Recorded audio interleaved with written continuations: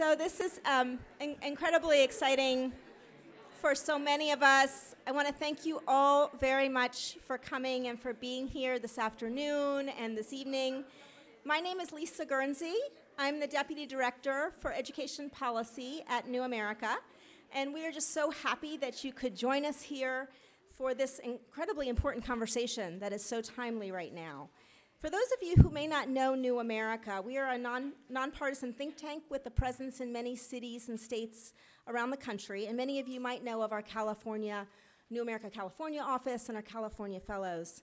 New America's focus across all of our programs is to renew America by continuing the quest to realize our nation's highest ideals. And our education team, and in particular our early and elementary education team, has been conducting research and analysis in California for many years. And we are incredibly pleased and honored to be here today in partnership with the Learning Policy Institute for, to host this event. So, in addition to saying a really big thanks to our partners at LPI, in particular, Hannah Melnick and Beth Meloy, I also want to say a thanks to Heather Hough and Jeannie Myung at PACE, who first helped us think about when to have this conversation and to take this moment before the PACE conference to really kick off a conversation about early childhood policy. I also want to uh, just quickly thank my colleague, Cara Sklar, who is our new Deputy Director for Early and Elementary Education at New America, and to Tamara Torlikson, who is our event coordinator tonight, and to all the funders listed on the program who've made this possible. We will be continuing this conversation at a breakout session tomorrow at the PACE conference. So, I don't really need to tell you all this because that's why you're here, but this is an incredibly exciting time for people who follow and who care about early childhood policy in California. And for those of us who are outside California, who are tracking trends in other states, and who see the incredible potential that is unfolding here. At New America, as I mentioned, we've been reporting on um, policies in California for about 10 years, um, looking at birth through the third grade. And as you walked in, you may have seen some of our new reports. We've been profiling communities such as Fresno, Oakland, and Franklin McKinley District in San Jose. We also were facilitators of a new resource, just want to quickly mention, called Indispensables for Quality Pre-K which takes research and distills it into one page for you. So I hope you have a chance to look at that. We've organized today's event to lend yet more space to dialogue and research that will inform policy ideas across the state. Given Governor Newsom's emphasis on early childhood, which is incredibly cheering to so many of us, this is a perfect time to talk about how to prioritize and how to consider the policies that are going to have the most impact. Given where I come from, just outside DC, the land of dysfunction, uh, it is not a surprise, probably, for you to know that many of us are jealous of what's going on here in California, and that's not just because you don't have sub zero wind chill right now. So, but anyone, anywhere who cares about kids and who cares about families in California is getting really excited right now about what's possible. I'm going to turn it over now to Linda Darling Hammond, who I am truly honored to be sharing this podium with today. She needs no introduction, but in case you are not familiar with her work or with the Learning Policy Institute, of which she is president, Linda is a nationally, internationally really esteemed researcher and thinker whose writing on the importance of teaching has influenced leaders around the country, including former President Barack Obama, for whom she served as leader of his education policy transition team. And so without further ado, I will give you Linda. Thank you.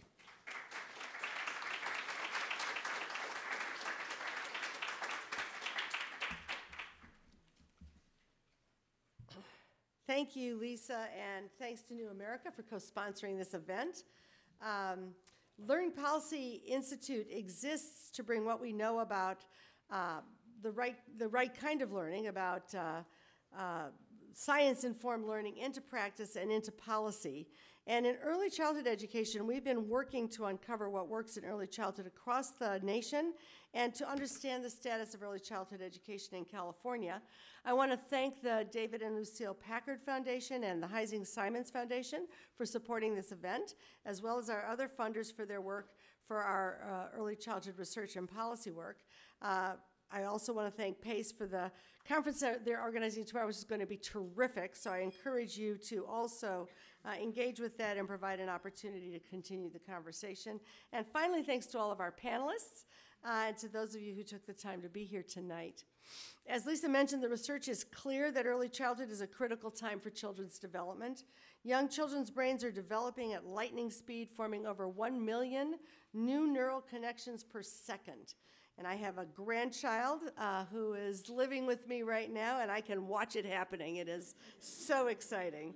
It is not surprising. I'm looking at Deborah Stipek, my good friend, who also has a grandchild uh, of about the same age, who is equally or maybe even more excited.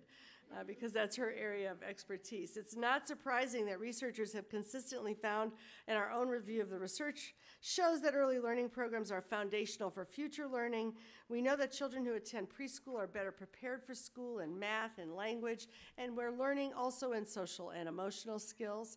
Uh, the recent Getting Down to Facts two set of reports in California found that in California, uh, children between K 12 uh, progress at the same or a slightly better rate than children in other states around the country, but they come to school, however, with a much greater gap uh, and further behind. And so the early learning system is really the piece of the puzzle here in uh, California that needs further uh, investment and development. We know that preschool programs have the potential to produce lasting benefits with lower rates of special education placement and grade retention, and over the course of the lifespan, higher graduation rates, employment, uh, and earnings. And these long term benefits pay for themselves.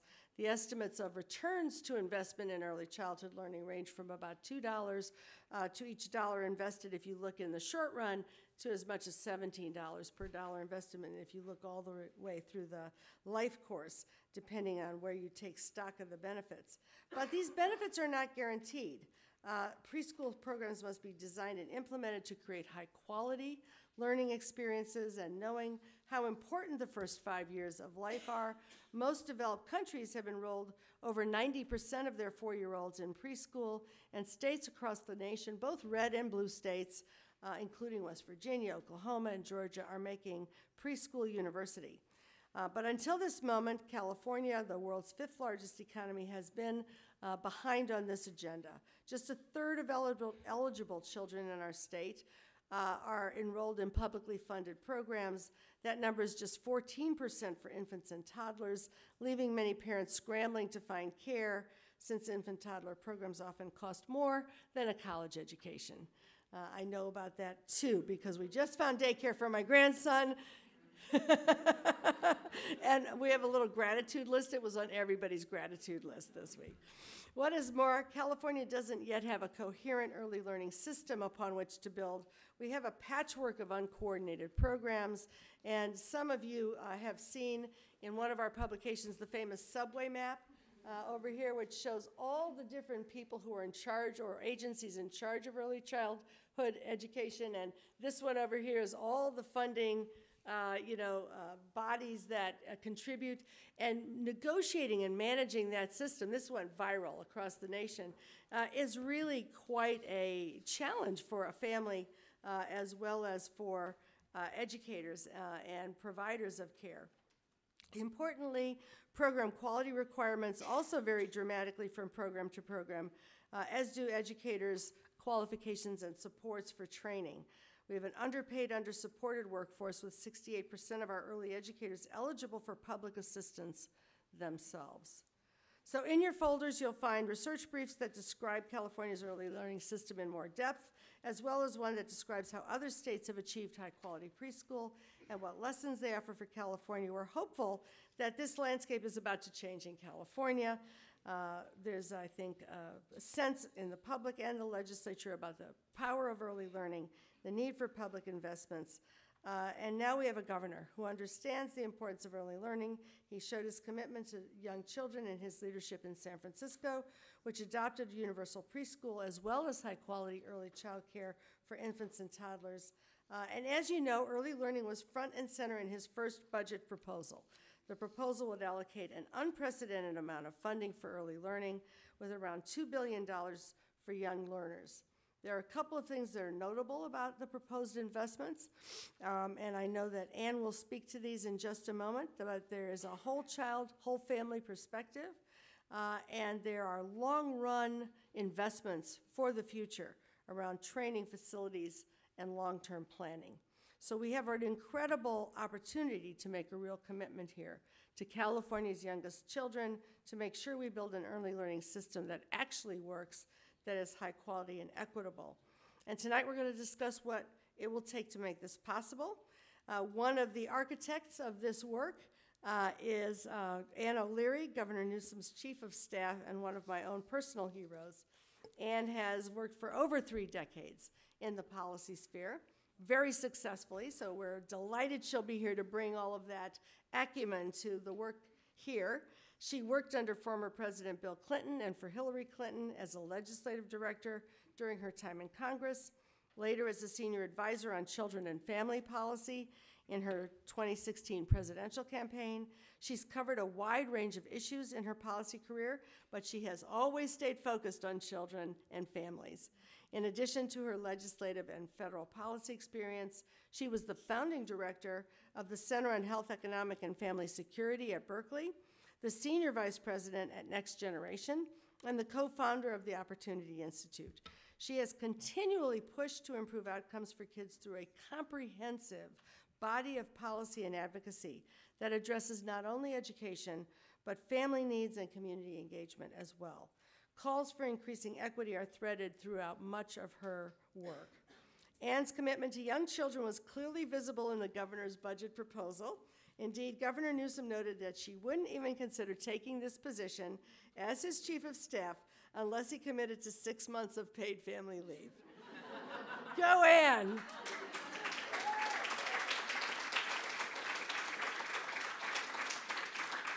We congratulate her and look forward to what the next four, or maybe we should just say eight years will bring. Ann.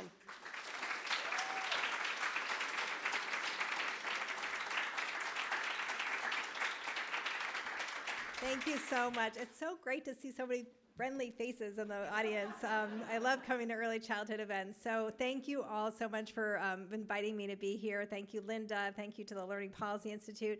And I'm so happy to have Lisa here and New America Foundation. One of the wonderful things I've, I've obviously I've had the opportunity to work at the national level for many years. And the great thing about this very moment is that there's so much more to do here in California. Uh, so my friends are coming from the East Coast and supporting us and cheering us on and rolling their sleeves up and being with us. And I really appreciate Lisa and the New American Foundation being uh, serious partners in this endeavor. So thank you. Uh, let me tell you a story that's a true story, which is that I one of the things I think is so important about government service is that you that I believe public service is a team sport and that you have to make sure you put together a great team in order to be able to do the good work you're going to do. So there were a couple people who I was like, we have to make sure we've got them on our team. There's, you know, I'm sure more of you I'm going to recruit. But at the beginning, I was like, Kris Perry, you got to be on the team. So Kris, I called me up and I said, Kris, let, us think about this. So she literally sent me that chart that Linda just showed about the, you know, different ways of doing it. And I was like, okay, where's the power? How are we going to make this happen? Um, so I'm really, really excited. Let me just say a little bit about our team because I think this is so critical. First of all, in the horseshoe, we've got Janine, Giannina Perez, who a number of you know. There she is. Give a good wave. Um, she is our senior advisor on early childhood, obviously worked with so many of you over many years, started her career in the Capitol building working for Hilda Solis back in the day, uh, but has really committed her work and her life to early childhood policy and really knowing the ins and outs of how you get things done in the state capitol. So I'm so delighted she's on our team. Uh, people know that Kris was just announced as our Deputy Secretary of Health and Human Services. Um, on early childhood. And really, the first time we have somebody at that level bringing early childhood programs together across all of the agencies and also a senior advisor on the implementation of early childhood because we need Giannina to be making things happen, but also to make sure that we have the accountability to get it done in terms of the implementation. So they'll be working in partnership. And then we're really excited about our first ever Surgeon General of California, Nadine Burke Harris, um, who's, who's not here today, uh, but um, many of you know her work around uh, adverse childhood experiences, and she really, she also said, I'm only going to take the job if I can focus on adverse childhood experiences and toxic health and all of those issues. So I'm really excited about her. There's a couple other members of our team here, and I want to make sure you know them because one of the really important pieces is that this is a continuum. It's really from cradle to career, and that's something that Governor Newsom has talked about throughout. Um, ben Chida's not here. He's our senior policy advisor on, on Cradle to Career, so you'll all get to know him. But some of our K through 12 teammates are here. Jenny Johnson is here, and Jamie Callahan. Where are they? There they are. Um, they are uh, critical parts. Uh, Jenny is on our legislative team, and Jamie is on our cabinet affairs team. So you'll get to know them as well. So, as I say, team sport, and we're really, really delighted. Um, a number of us have been in these rooms for many years together, and for, for many, many years, we have lamented on the fact that early childhood did not get the spot it should for so many years. Uh, we fought together for the cuts that we fought against the cuts that happened after the recession, um, and it's taken many, many years to get to where we are today. But I think that one of the reasons I did go to work for Governor Gavin Newsom is that he ran on a on a platform of early childhood. It wasn't a, it wasn't one of the tenth issue or the twelfth issue. It was one of his front issues that he ran on. He talked repeatedly over and over. He ran campaign ads around early childhood development. Nobody does that. Um, so we know that this is not a you know kind of a small thing. This is something that's front and center to what he wants to do. Um, and I think it's, you know, it is so critical that we have um, him leading the effort. And not only that he has, understands the science and he's got the commitment, but he also is a father of four young children. And that makes a difference. You see it in the way he thinks and the way that he approaches policy. Um, and so I think that that's why you saw a budget that for the first time, really in the history of California, was as deep and focused and detailed as ever on early childhood development and learning. And we're really, really proud of it. Uh, but we know it's going to take both the inside team that I just announced as well as the outside team to really work together to make this meaningful. Um, one of the things that I'm doing is spending a lot of time in my car driving back and forth between Oakland and Sacramento. And I've been listening to um, a great book that I highly recommend. Um, it's Michael Lewis's new book called The Fifth Risk. I don't know if any of you have read it yet, but the reason I recommend it is he. It's a really scary book about the. Um, I should not be so political, but it's a scary book about um, President Trump's tra- transition. and um, but the reason, but the fifth risk is really about the fact that one of the risks that happens in government is around project management, and that if you don't actually manage a project right, then very bad things can happen. So he's talking about the energy department and nuclear risk, but it's true in early childhood education as well, which is that this is this budget is only as good as all of us make it, which is to say that on the inside and the outside, we first have to pass the budget. We then have to make sure that the government is implementing the budget in the right way. But then all of you on the outside who get the dollars and really work to it, you have to do the good job, and we have to make sure you're doing the good job to do what we've said we're going to do. So we are painting a picture, and it's a picture that we painted together. Over many years, we painted this picture of what would this look like. So let me just say a little bit about it. One is um, in a, it is partially a joke, but I did talk to the governor about paid leave when I um, uh, mentioned this to him. But one of the things we were talking about was infant child care. And we were talking about the work that I did, and I'm proud of my colleague Sarah Crow is here. I don't know if Kara Dukakis is here, but there are a number of us uh, who work together on an initiative called Too Small to Fail. And it was really about the fact that parents are so, Liz Simons is here, one of our great supporters. Um, but it was really about the fact that we really need to ensure that parents have the opportunity to understand the importance of brain development and language development and, and know the tools to be able to help their child. And so, as we, as the governor and I were talking about early childhood development and the high cost of infant child care, we were also talking about the importance of parents being able to have the space and time they need to be their child's first teacher.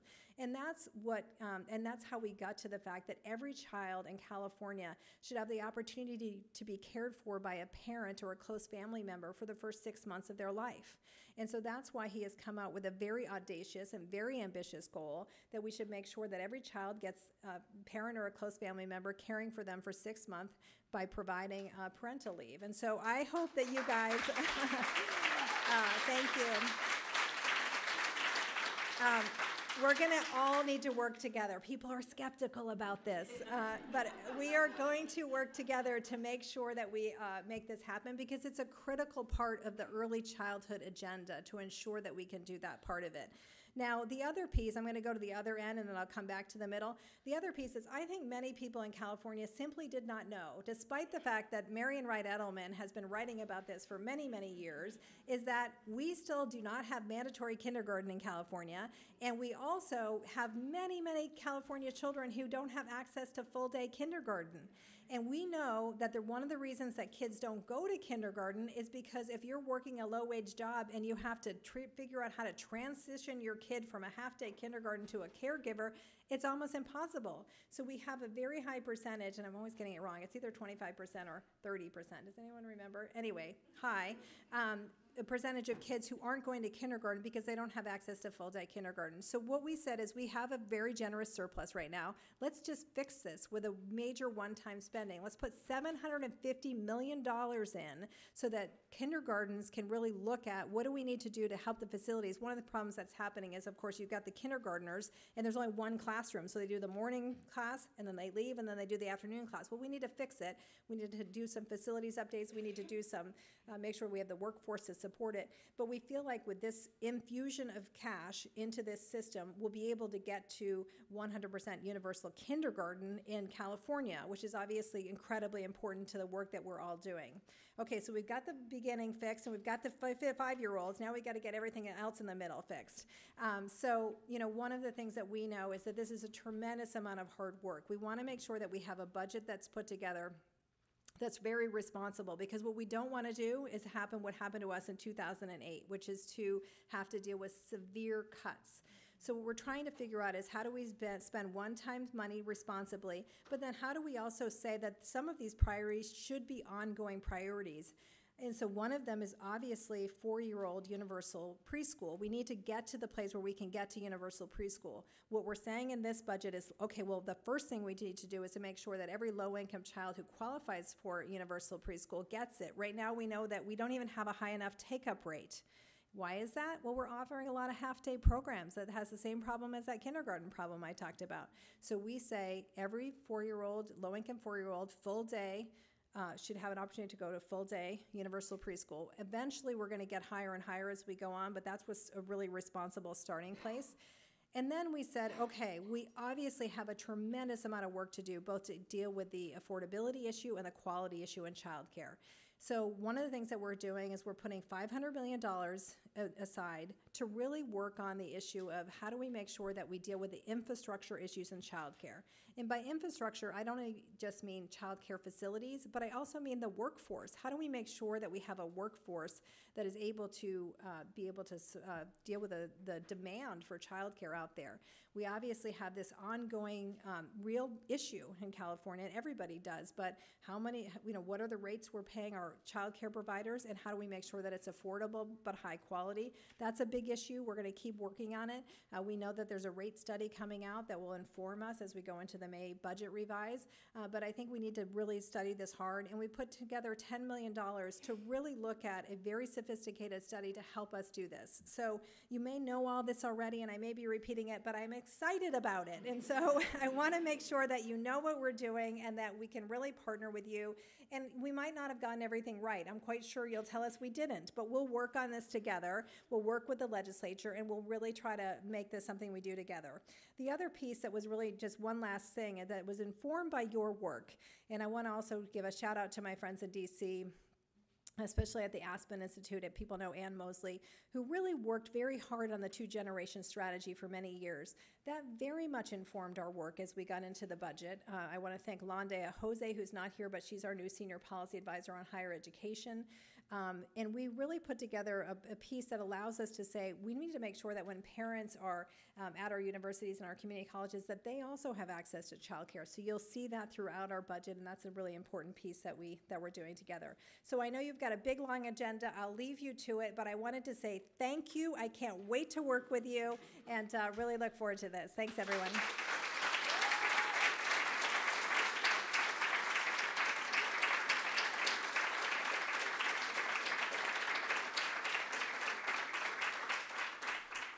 Thank you so much, Ann. It's a really nice way to kick off what can be an even more in depth discussion about what's possible.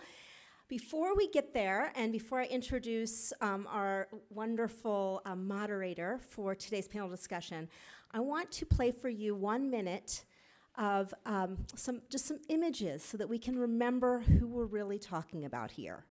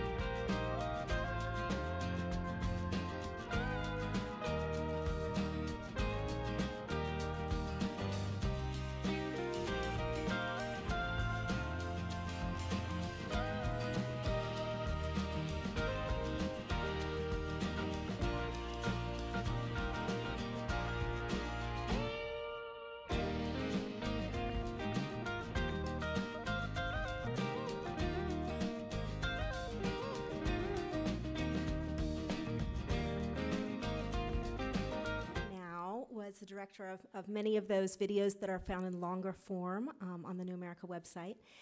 Sarah um, Jackson, who will be our moderator today, has been working with me at New America for goodness, maybe five years almost at this point. Um, she's a, a she, we both come from the world of journalism, and uh, when Sarah and I first started talking about what might be possible in California with some reporting that she could do with a policy focus, we got really excited about the opportunity that was um, available to us with Sarah here. So. I'm going to turn it over to Sarah now. Um, you can read more about her in the bio sheet, and she will then introduce um, the in incredibly esteemed um, panelists that we have here today. So, Sarah, I turn it over to you.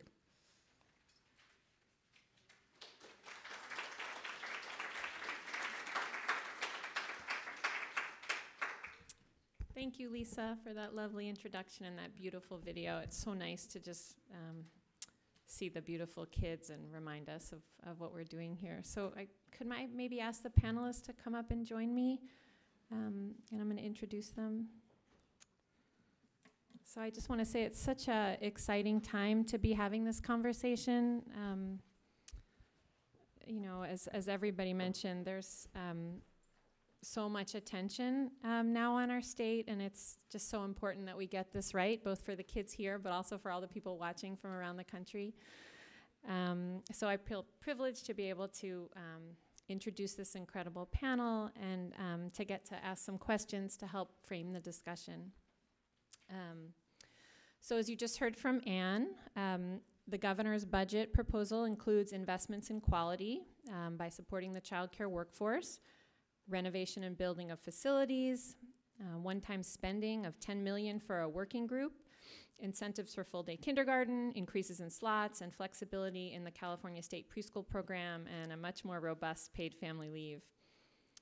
So what we're going to talk about in the next um, 30 to 40 minutes, I hope we'll be able to get a little extra time, um, is whether these proposals align with what the research says is what's best for young kids, and in which ways specifically.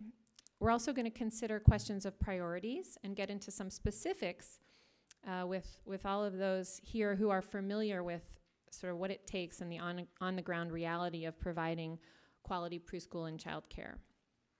So these are questions will need to be answered by the working group the administration has proposed, which would create a roadmap to universal preschool and expanded access to early learning from children birth to age five. So I'm really pleased to um, introduce our panelists here. Um, right to my left is Deborah Stipek, who doesn't need a lot of introduction, but Deborah is the Judy Koch Professor of Education in the Graduate School of Education and a professor of psychology at Stanford University. She also serves as the Peter E. Haas Faculty Director of the Haas Center for Public Service at Stanford. Um, and, and next to Deborah is Lawanda Wesley. Um, Lawanda um, is the Director of Quality Enhancement and Professional Development for Early Learning for Oakland Unified School District, where she supports over 200 teaching staff, wow, with QRIS quality enhancement and professional development efforts. Uh, she's fairly new um, to, to OUSD, and prior to that, she served as Alameda County's Early Care and Education Planning Council Coordinator, Quality Improvement Manager, and AB 212 Program Manager. Welcome, Lawanda. And then on the other side of Lawanda, I think, is, is Kim. Um, it's hard for me to see you guys from here. Um, Kim Patillo Brownson is the Vice President for Policy and Strategy for First Five Los Angeles. Uh, Kim is responsible for strengthening First Five's LA profile and influence on local and statewide early childhood public policy, legislative, and advocacy efforts. Um, she previously served as the managing director of policy and advocacy at the Advancement Project um, and was also an education attorney at the American Civil Lir- Liberties Union of Southern California. Welcome, Kim.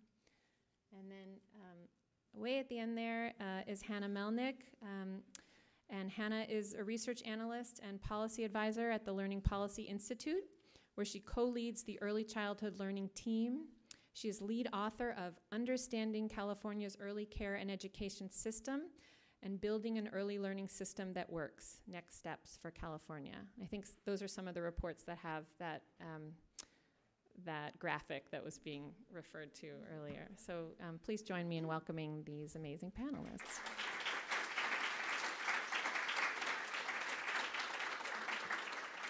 And I should also say, so we're going to uh, talk for, for a little bit, and then we'll also be joined by two respondents. Um, here in the front row, we have Patricia Lozano from Early Edge, California, and Samantha Tran from Children Now, who are gracious enough to also provide some comments uh, after our discussion, and then we hope to take some uh, questions from you all. And um, I know there's a there's an incredible amount of expertise in the room, so I hope we will be able to get to that as well. Um, so I'm going to start with you, Deborah. Um, so, your research uh, over the years has pointed out um, the importance of ensuring that programs are of high quality. And you and many others have stressed that investing in the workforce, those who care for children in our state, is a key part of that. So, do, do you agree with the direction that the governor is taking so far? And uh, what parts of it do you think will be most impactful when it comes to building uh, quality programs for, for the children in our state? I, I just want to reiterate Sarah's point that uh, this is a really intimidating audience to talk to because, uh, because you know so much. You know, I can't put, we can't put anything over you.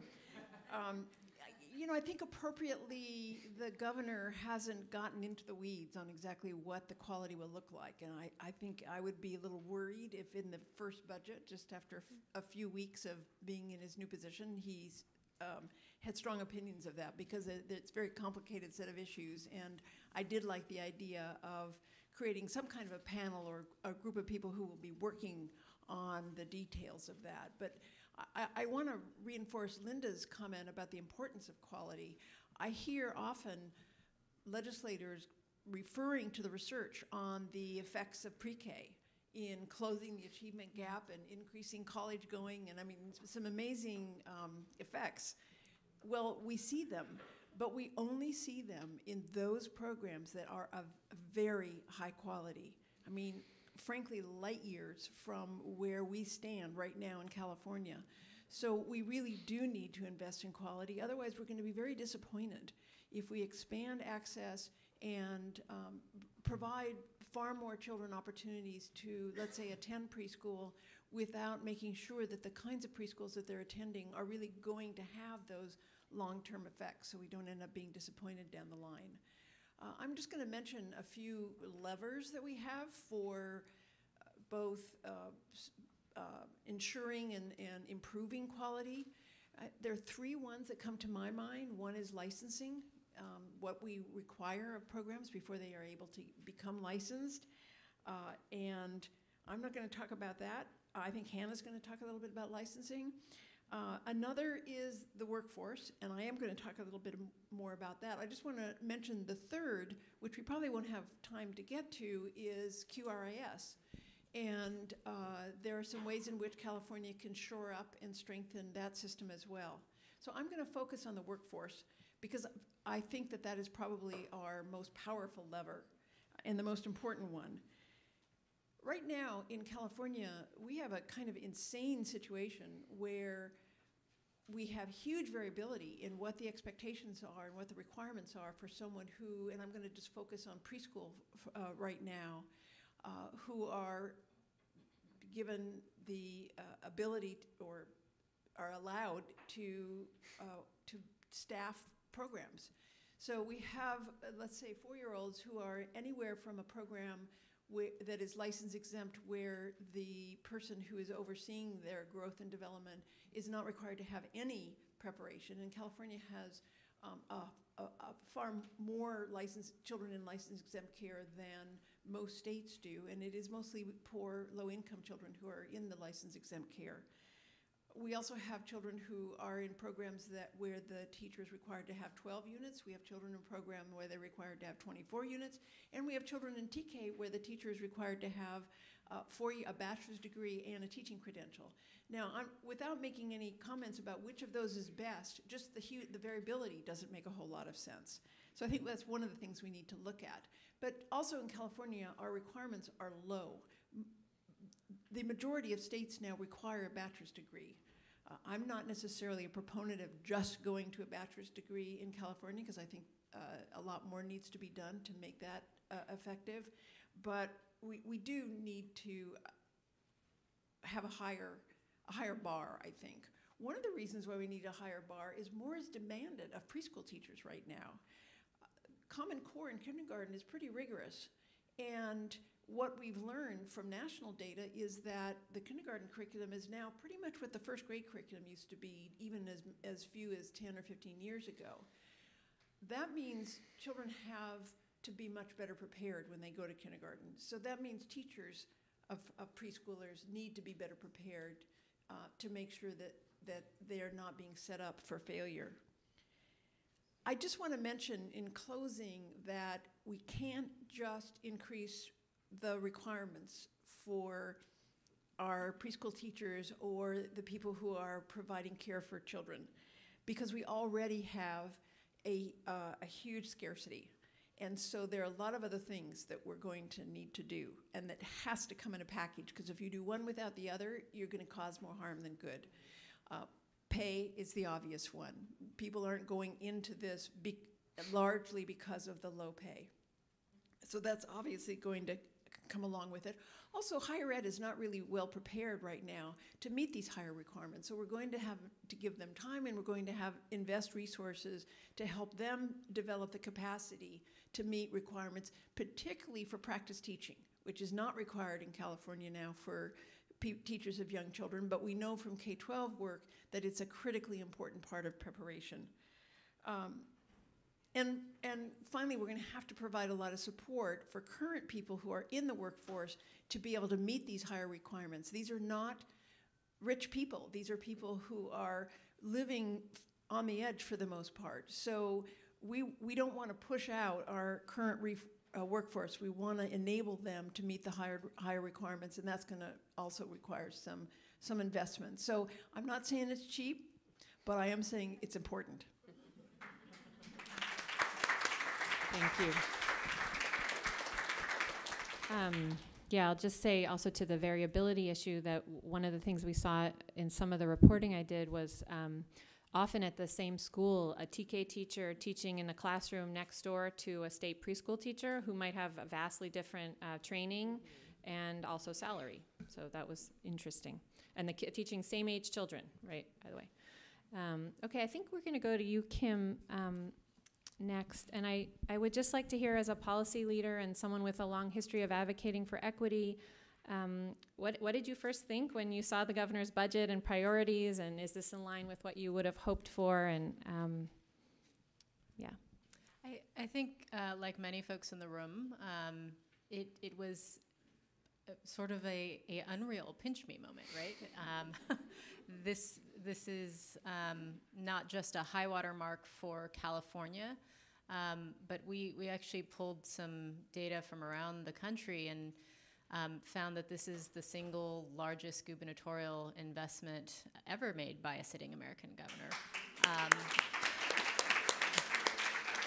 And, and that is noteworthy in the magnitude, but it is also, I think, quite noteworthy um, in the scope of what um, his ambition has been in terms of thinking about how children and families actually exist in the world, which is to say um, that it's it is ECE, but it is also health, um, it's developmental screenings, um, it's home visiting, um, it is also encompassing of economic supports in ways that we have parceled out uh, chunks of a child um, in our prior imagination.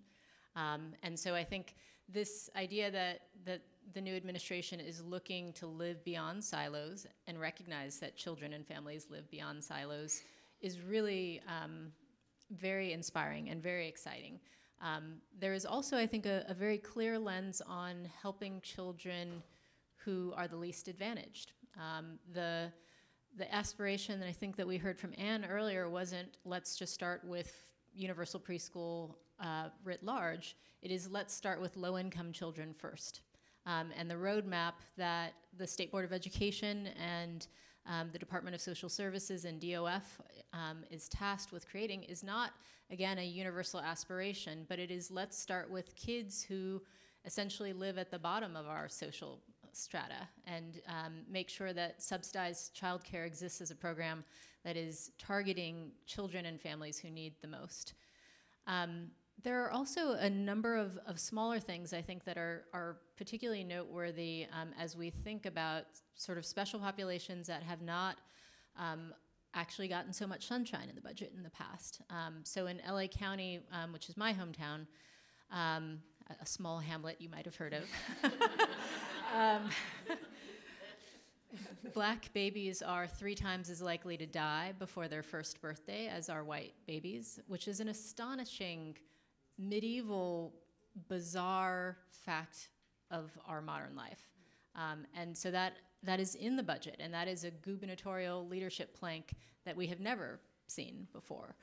Um, there is also attention to developmental screenings, um, which we know are, are challenging and more onerous for um, low income communities, but also communities of color. You're twice as likely to have an undiagnosed developmental delay as a Latino child as you are um, as a white child.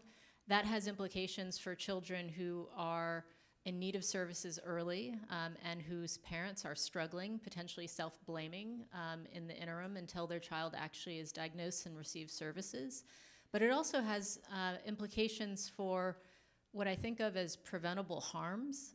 There are very inexpensive things that young children, if, if caught early on some of these delays, if you need a hearing aid, if you need fine or gross motor practice in the early years, it's a lot less expensive to remediate in those early ages than it is if you are a K 12 student uh, going to special ed programs for 12 years, where the cost is borne by everyone. Then the equity implications are society wide.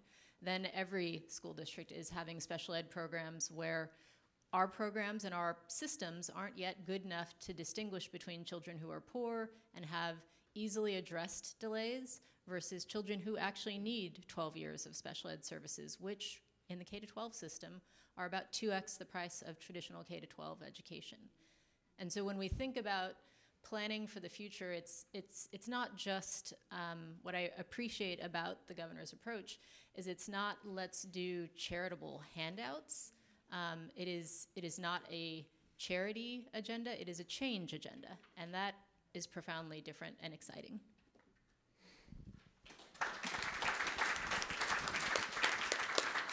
Thank you, Kim. Lawanda, I'd love to hear from you um, as and and just maybe you can help us bring some of the voices and experiences of, of teachers in Oakland and in the other places you work to this conversation. Um, which of the governor's proposals do you think is going to do the most to help low-income families? Is it state preschool slots or improvements to quality childcare, other things?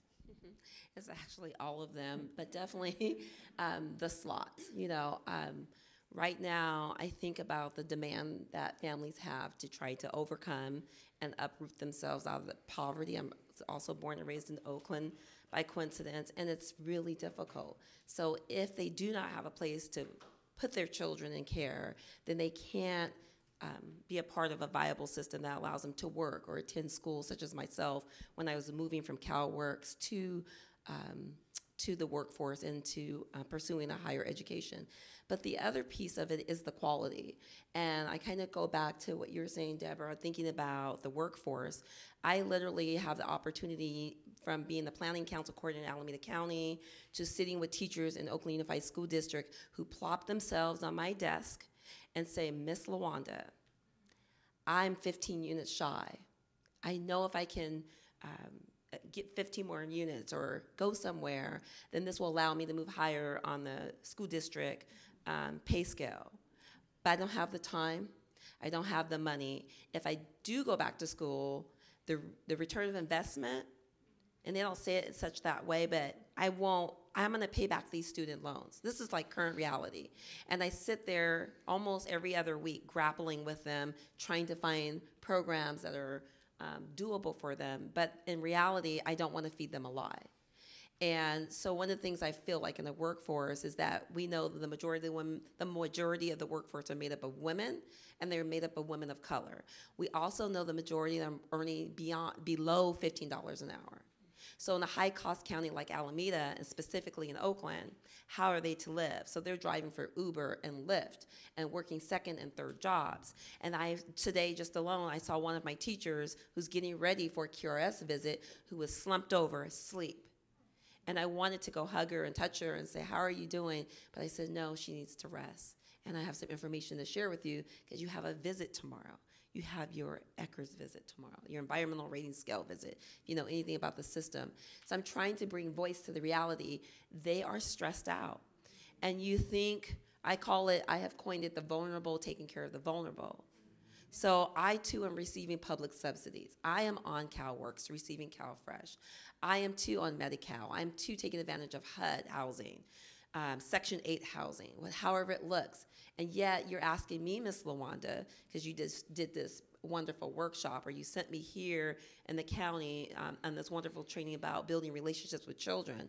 But I'm walking in and I'm stressed out and all I want to do is run to the bathroom before I can even greet my children.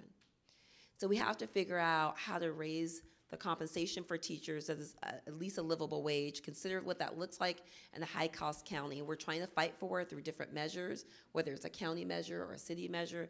But $15 an hour, we're fighting for that. And I also wonder if it's a coincidence because it's women and women of color. And I speak that. Yeah.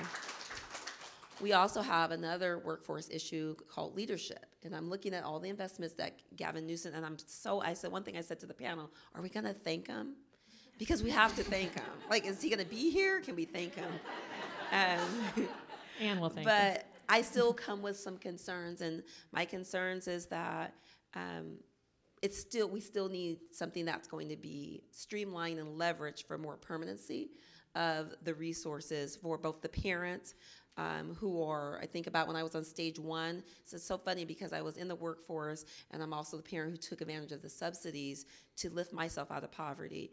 And I just think, my goodness, there still isn't, there still isn't the resources that we need um, to still make it work well. When I was on stage one, I would hear a lot of my friends in the circle saying, oh my gosh, um, I'm worried if I get to stage three, basically, they knew this stage, I'm gonna have to go back, quit my job, go back to stage one so I could get full time care. So I heard someone in the audience I talked to about maybe we can get 12 month eligibility in stage one. I'm excited about that.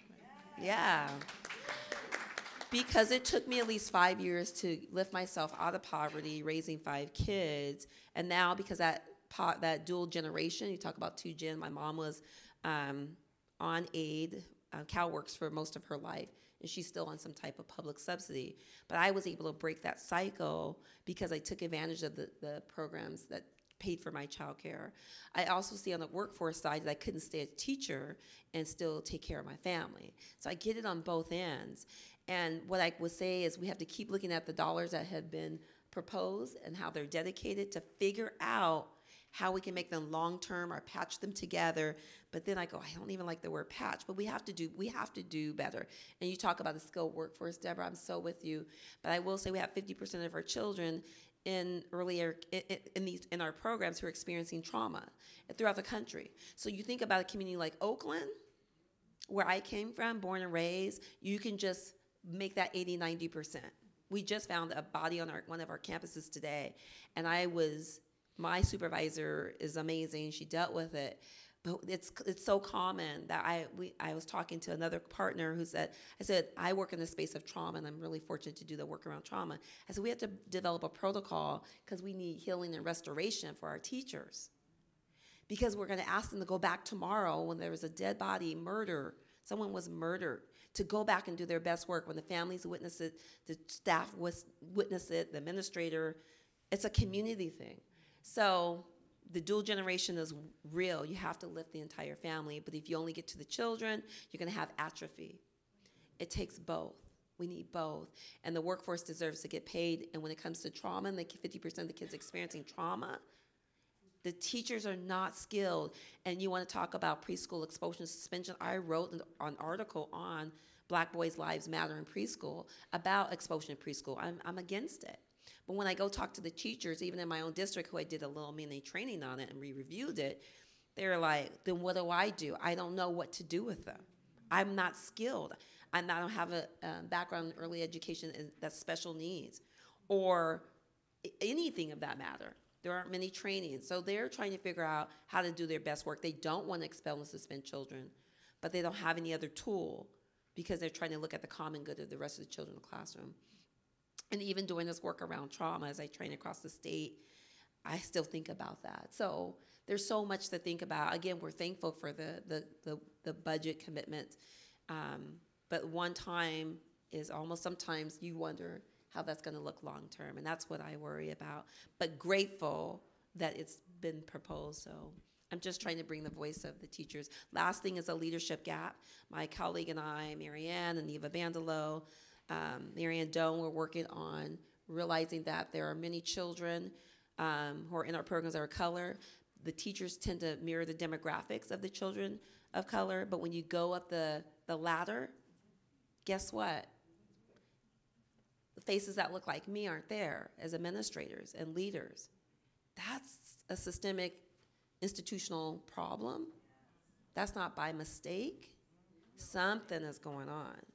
So, uh, my colleague Neva Bandelo, who did a project with ELAN, Early Learning Action Network, and we met in Alameda County. We were working on the project uh, with Marianne Doan with the California Mentor Project to think about how do we disrupt that and we build that part of the workforce because who's going to lead the teachers?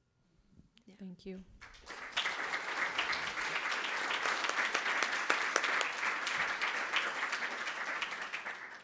I'll just also say if we, I, I'm not sure how much specifics we're going to be able to get into, but, um, but you know, we do have a lot of incredible models of work being done to help um, get educators the support they need. We've been doing some reporting um, in Franklin McKinley School District outside of San Jose, where they are doing um, some work to help give teachers the tools they need to help kids develop those social emotional skills. I know you all are doing work in trauma informed practice. Um, so I hope I hope we can talk about some of that. But I want to get give Hannah um, a chance down there and. Um, she has a lot of expertise on the importance of taking a comprehensive approach to improving the early care and education systems in California. So I just wanted to ask you to talk a little bit about how you see these components of the governor's plan working together well, if you do, and, and what you hope for in that um, area. Sure, thank you. So I was sitting here thinking, I'm so excited about the governor's budget because of uh, in infrastructure, and that's hard to follow Lawanda and talk about infrastructure. But I do think that's important that we invest in spaces for our kids to be in when we are able to get those slots you're saying we need, and the training for the childcare teachers, um, and the the educators so that they don't have to do their training on their own time and their own dime. So they are important one time investments. And I was very excited to hear Ann say that they're going to be followed by uh, ongoing investments. Um, so what I would say I would hope for for our early learning investments going forward is that they become more coherent and they become more equitable. So we do not have this crazy system that Deborah and Linda have described where whether you're born in August or September is the difference between whether you have a teacher with a credential, whether you have eight children per adult or 24 per adult in your classroom.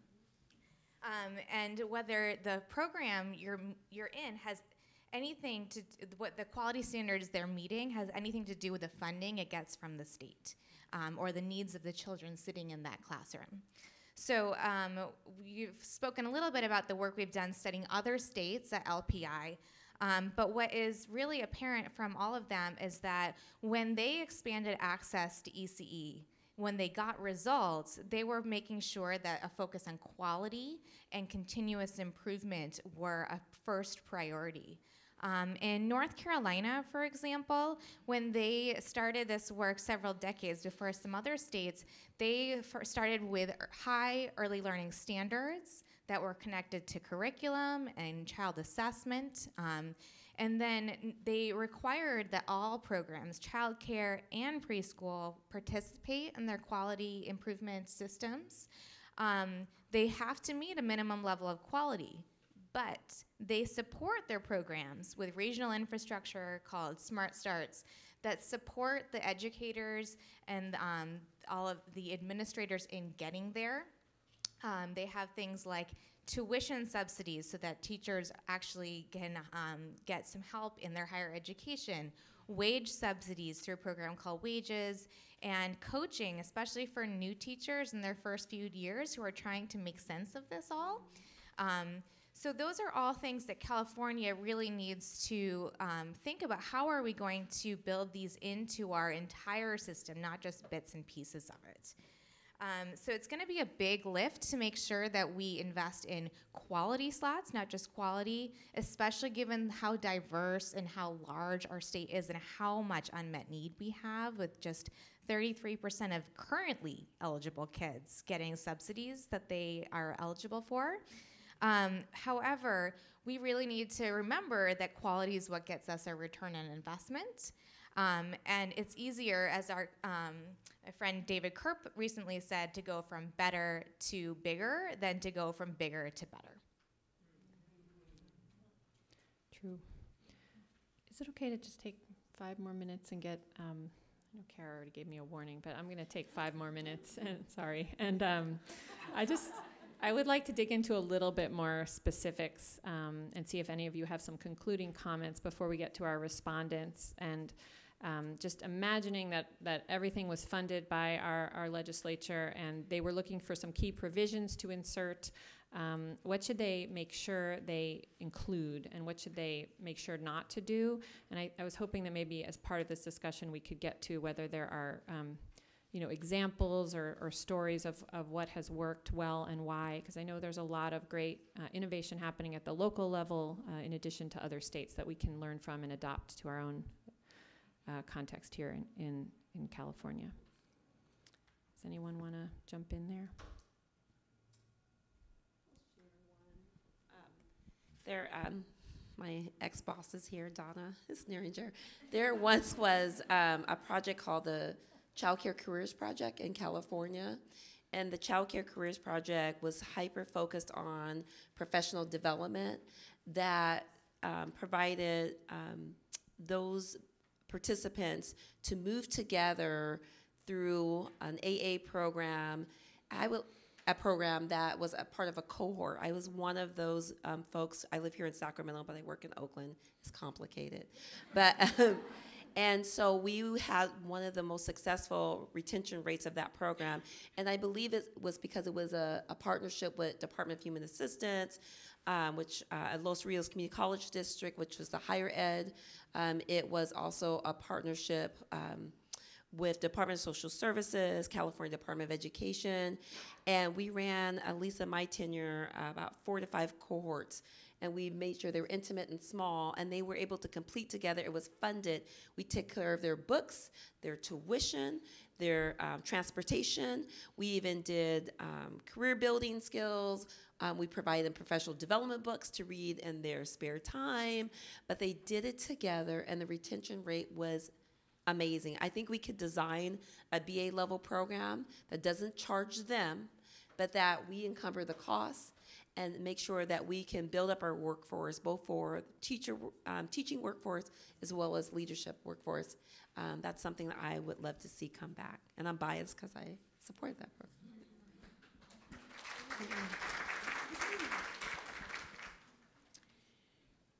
Um, my hope is that we don't uh, nibble around the edges, just uh, expand this program, maybe improve quality here or there, but that we really take that complicated network of programs that are incredibly inefficient and almost start from scratch and think if we were going to serve children and families in California, what kind of infrastructure and organizational structure would we need? Rather, because it is so complex, uh, I don't know that you can really come up with a very efficient way of improving both access and quality without really uh, tackling that whole system of the way we deliver services in California. Um, I'll offer two thoughts. Um, one is is around uh, lifting up what's working at the local level. Um, so in Los Angeles Unified, um, there's a pilot of again, um, LA pilots are 8,000 large. um, at LAUSD um, for expanded TK, and it is a transitional kindergarten program that meets all of the state preschool requirements. Um, it is 24 children, three adults. All of the teachers have BAs or MAs. 80% of the TAs have um, AA degrees. Everyone has professional paid develop PD days um, that are not just in the summer. Um, there's been coaching made available, and there's trauma informed care. These are large, they're targeted in the LCFF context to concentrated poverty schools. Um, so it's not universally available. Um, it's about 85% Latino kids, it's about 60% English language learners, and they are coming into kindergarten performing on par with their middle class peers.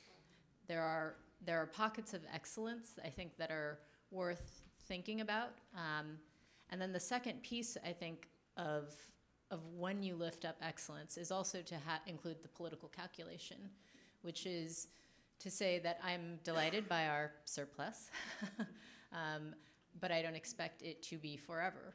Um, and thinking about what um, alliances we need with more moneyed interests than perhaps the early childhood um, world brings, and I'm thinking about CTA.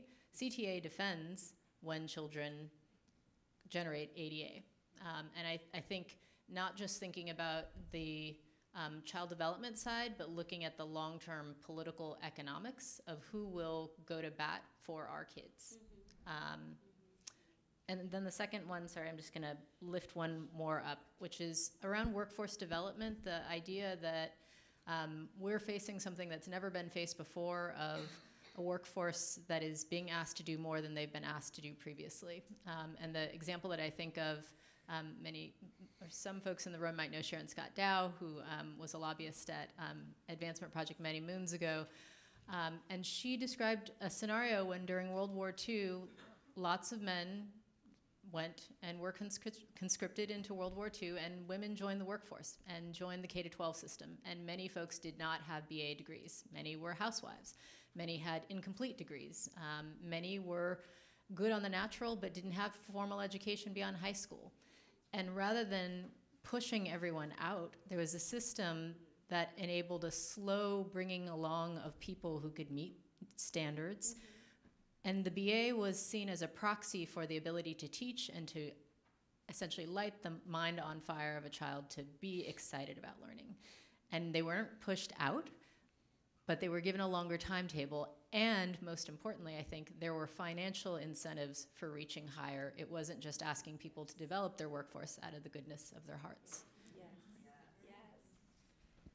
Um, on that, no matter how we expand our system, we're going to need to invest in the workforce, and there are. Uh, that's a great example, and another more um, modern example of how we can do this systemically is what happened in New Jersey in 2000. Um, they took four major steps that we could we should need to take in California to develop their current and their incoming workforce. Um, when they expanded preschool in their Abbott districts, first they developed a P3 credential, and then they built up the capacity of their institutes of higher ed to make sure that they were able to um, handle an influx of new teachers. They also gave scholarships to teachers so that they could um, pay for that. They didn't have to pay for that degree out of their pockets. Um, they offered more funding for wages. So once you had a degree, it was worth their while. And fourth, the state ensured that they had coaching for their um, their support their new teachers in the field um, and make sure that those investments were sustained after they got out of the university. So I do think that we can make these investments in California. New Jersey went from 15% of educators in private settings meeting their standards to 97 in seven years. So it's doable. We can do it, um, but we need to make sure we're thinking about the long term. Absolutely. So I think I'd like to, to um, before we go to the audience, uh, go to our uh, wonderful respondents here in the front row. So um, uh, Patricia Lozano is here from Early Edge, and she's graciously agreed to give a few um, comments. Is this on? Yes. Yeah. Oh, well, thank you. And I'm also very excited about all these, you know, new investments. And I think it's like, it's our time. And my reactions are for the workforce, I think, yes, we need to invest in, you know, new qualifications. And, um, but I want to think about what are the competencies that we need to define and ask from these teachers. And I experienced it firsthand. When I was a preschool teacher, my first day, a room full of two-year-olds running around, and I was like, what do I do? I knew all the theory, child development, everything, and I was like, I have no clue. These kids are, their attention span is five minutes, and they started running around, and I'm like, oh. But I was lucky enough to have a great coach who like supported me through the process and gave me opportunities of training. So I think the second piece is okay, let's define the qualifications, then also the coaching system with all the, the content that we need depending on the communities that we're serving. Um, is not only financial, which is huge, but also uh, emotional and uh, for career development. So I had my, an amazing coach that um, gave me all the opportunities that you know uh, made me select the right path to be here. So every time I, I think about this, I'm like, it's because of her that I'm here. And the third thing is pay. I mean, I think that we can't, it's, it's our time to recognize our teachers and our providers, and um, mainly women, and um, it's their time to be recognized. So I think the main question for you all is where do we start? so what do we do first? You know, the administration is showing support, um, is giving us funding, and but th- the main thing is, you know, what do we do first to get where we want to be? Oh, you first. So next we have Samantha Tran from Children Now. Yeah, it's, it, it's amazing to be in this room with so many thought leaders who know this uh, work deeply. And I think the panel uh, really put out there, just reflecting on the, the different things that you talked about, about how powerful this comprehensive vision is and how big of a lift it is. And yet at the same time, we can get it done. There's examples of, of other states and, and places throughout California where we are doing this good work. I think one of the, the challenges we face that, again, we can overcome is that you know sitting as an advocate government by necessity is set up in silos. It, it's how we function because it takes the deep detailed work mm-hmm. to deliver on a, a, a budget line item and, and implement a program and bring things to scale um, but that does it's not very conducive to a comprehensive vision right so there is leadership that's needed to hold that in our heads broadly to put that out there and that's why it's so exciting that uh, newsom has brought together this amazing team of knowledgeable people who've been in it with us to figure it out um, and i think in addition to just the way government's set up, even how we pursue policy. I mean, right now we've got a number of things in play that can move this ball forward, but they're taking on pieces of it. And, and you know, just the workforce conversation. As we think about setting expectations for uh, the, the teaching community and how we move forward on that front, that's playing out in certain venues. When we think about compensation, that's related to rate reform and you know, getting our finance system aligned, getting data in place, and then building this infrastructure of training and support. It is compli- complicated. There are different people in leadership positions who are um, you know, holding it uh, and can move it. And I think collectively as a field, we have a job to do to make sure we're helping to connect the dots um, and doing the deep work at the same time. Thank you. So now I think we can um, we can go to the audience finally. Um, we have a question back there. Can you just wait a sec? We're thank you. I'm Donna Sneeringer with the Child Care Resource Center. Oh, God. Boy, I didn't think that was going to happen. Okay. Um, thank you, Lawanda. um, I just want to point out as we think about all this important systems work, we cannot lose track of the fact that there are 1.8 million income eligible kids in California getting nothing right now. And I am all about building a quality system, but we have to walk and chew gum at the same time. And we can't let this generation of little ones wait while we figure out all the systems work that needs to happen. So I just implore us to think about what, what do we need to do to serve kids now at the same time we're thinking about how we make it better down the road.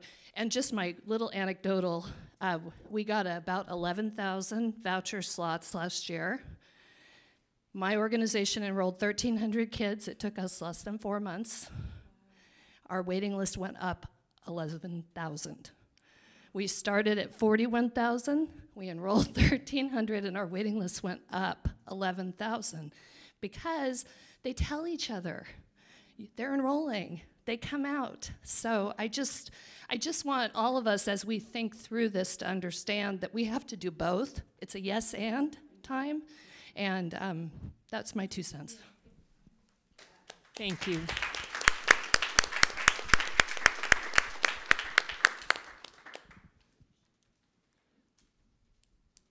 Anybody else?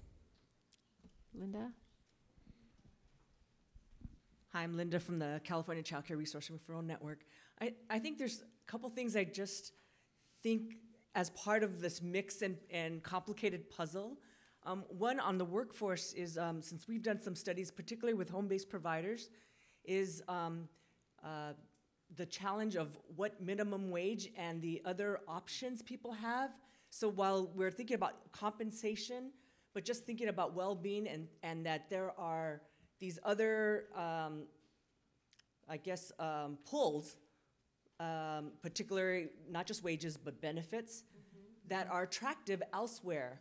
So, in thinking about how we build our system, is to think about what are those other things that um, are also attractive for folks. I think the other thing about, um, and I totally understand, like there's there's many ways to tackle this this ch- uh, challenge we have of trying to meet as many people as possible.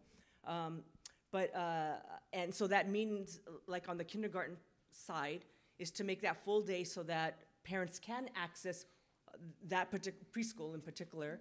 Um, but I, but also thinking about the changing um, work demands of parents, and particularly the things about varying hours, and then so making sure that the supply or what we're we're we're hoping in building, that people will then be able to come because they have other conditions that uh, might uh, prevent that. So thinking about that as part of the equation as well. Do any of you guys want to respond to either of those two very important comments? We have two That's mics. part of the silo problem. I know that there are state preschool s- slots, so to speak, that are empty because parents need childcare and a half-day program isn't going to work for them. But we have state preschool that is in one place and we've got childcare in another. And so that's why I think the, the importance of whether we consolidate somehow all of these different funding sources and programs, and states have done that, so it's not undoable, I'm sure challenging, or whether we just create greater coherence at some level, uh, we're not going to meet families' needs in any kind of meaningful way if we have this fragmentation. And think of the child as this part of the day is to prepare for kindergarten, and this part of the day is to, I- I mean, it just doesn't make sense because it's one child. Uh, The other issue that we're facing, at least in our school district, is we have a increased enrollment at 2.9 year olds. But those, and that's because they've been, parents have been waiting, waiting, waiting, waiting for infant toddler care, couldn't get in. So we have this higher enrollment and we still consider them in the three-year-old group. The challenge with that is their needs are much greater. So they're younger, right? Um, and so again, once again, we have them in this classroom and you don't, you know, because of where, if it's about parents' choice, you're not going to say, let's put all the 2.9 year olds in this part of the county or, or this part of the city or this part of it. So we're trying to figure out how do we get support. It goes back to workforce. We want to serve these 2.9 year olds. Parents are waiting because they need the full time, but the young children are, you know, they're still working on their developmental level, but they need skilled teachers to, to be able to do that. Um, and the other thing is making sure we also continue to serve those three year olds, even if they're at 2.9. I, I also think the um, the piece around um, non-traditional hours is is a growing part of our workforce, and that's not going away. And we need to figure out what the mechanisms are that, excuse me, best serve families who who basically need off um, hours, um, but on an ongoing basis, not on a temporary basis. I think part of the upleveling of our expectations, though, has to be that if a child is eligible for overnight care, that somehow that they're going to be barred from an early learning program during the waking hours of their day is unconscionable. There is no middle class family that says you can either sleep safely or you can go to school, right? And, and that's that is an, an indefensible choice that we're asking poor families to make. Can we maybe have time for two more questions? Let's go over here.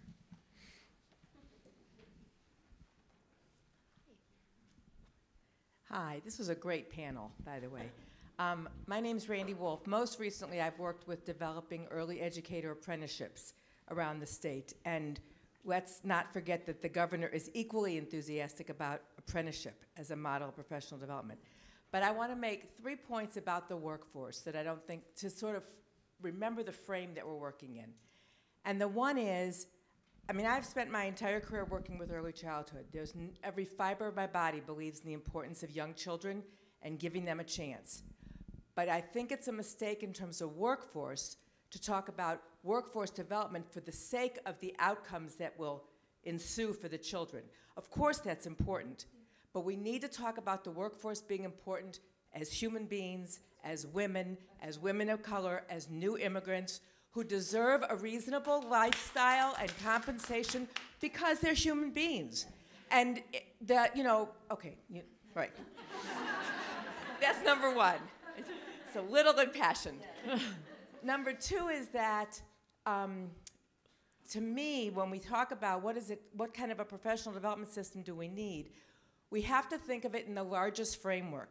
As long as a person doesn't have the choice to make a career of working as a preschool teacher, the way a third grade teacher has a choice of working as a third grade teacher for her whole career if she wants.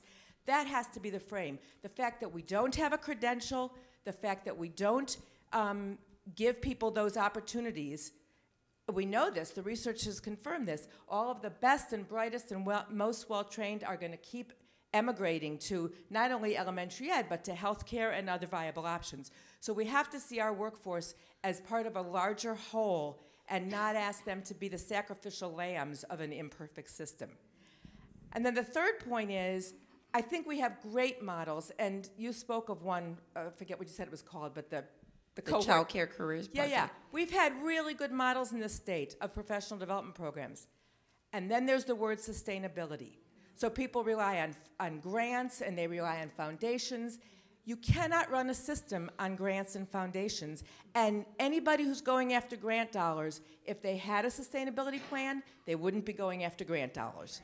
That's the reality. And so somehow we have to be able to think of this in a way that doesn't set us up to try a new set of pilots with really good results, and then at the end of three years, we start another new set of pilots with really good results.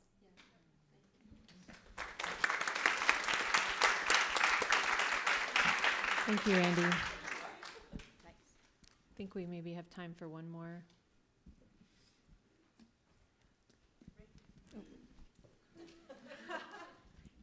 I just have kind of a quick comment. My name is Vilma, and I'm a I'm a teacher actually in Oakland Unified. And something that was I really value the expertise of everyone, and I think it's really important that there be teachers, practitioners at the table. I mean, I hear the idea around. Thank you. So I, I, I hear what we're saying around the full day kindergarten, and I also ask that you come and do full day kindergarten as a kindergarten teacher, a transitional kindergarten teacher, which I was for a long time, was a preschool teacher, transitional kindergarten teacher, and I have to say that we need to be creative of what we're. I think I agree with having the implications of childcare, having the full day option, and I really think about we have to think about what is the toll on teachers, especially without assistance. My first year as a transitional kindergarten teacher, I had 25 students and no assistant. And I had a, a preschool background. I went to grad school, I had an early childhood background. So, what I'm saying is, we need to have these voices at the table so that when we're making decisions, we're thinking about we're not just burning out the adults, the caregivers, the teachers who are facing the day to day decisions at, that are up here, that are being made by people who may or may not have the experiences of being in the classroom.